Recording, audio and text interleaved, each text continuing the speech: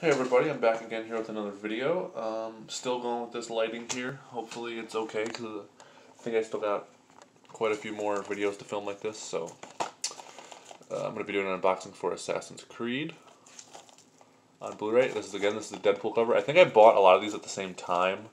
The ones with the Deadpool covers. Um, I think I bought them over a year ago. They've just been sitting on my shelf. I haven't uh, opened them yet. So let's get into it.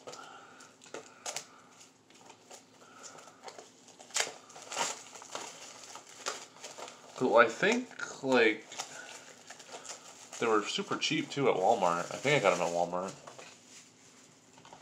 Were they the ones doing the Deadpool covers? I don't. I'm not sure. But so let's let's crack into this. It's Blu-ray plus oh Blu-ray plus DVD plus digital. Huh.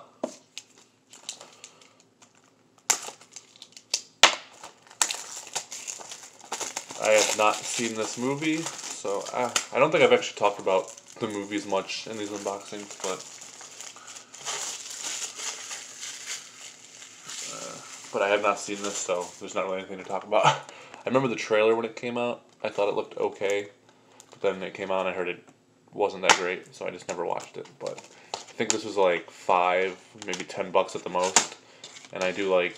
I mean, I am a collector, so I like the cool stuff like this, like the Deadpool covers and different things they've done. So yeah, it's pretty much just the discs. I guess Blu-ray and DVD, and then I already took out the code. So yeah, not really much to it, but uh, that's it. Uh, I guess I'll see you guys in my next video. Thanks for watching.